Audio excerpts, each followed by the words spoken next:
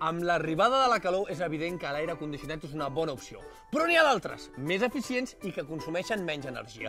Per exemple, el ventilador ens permet abaixar la temperatura de 3 a 5 graus i el seu consum és molt menor.